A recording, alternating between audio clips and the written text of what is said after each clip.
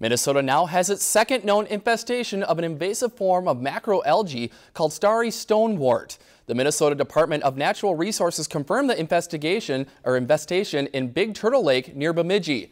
The Big Turtle Lake infestation extends through about one acre of the 1600 acre lake. The starry stonewort is a grass-like algae that looks like a small snowflake covered with tiny bulbils. It can produce dense mats which could interfere with the use of the lake, choke out native plants, and alter habitat for young fish. The invasive algae first reported last Friday surrounds the public boat access and shoreline.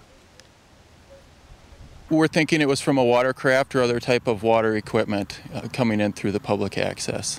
Recreational enthusiasts out on the lake, whether they're boating, uh, fishing, tubing, whatnot, when you have these thick mats forming, they can disrupt that activity by clogging, uh, becoming wrapped around your propeller, clogging intakes, um, affecting potentially the, the fishing.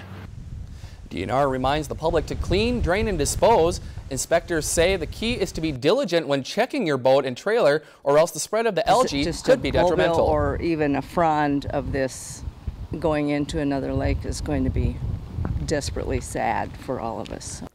The DNR also strongly encourages Minnesotans to report anything unusual. The only other lake in Minnesota that is infested with the starry stonewort is Lake Koronis in Stearns and Meeker counties, exactly 185 miles south of Big Turtle Lake.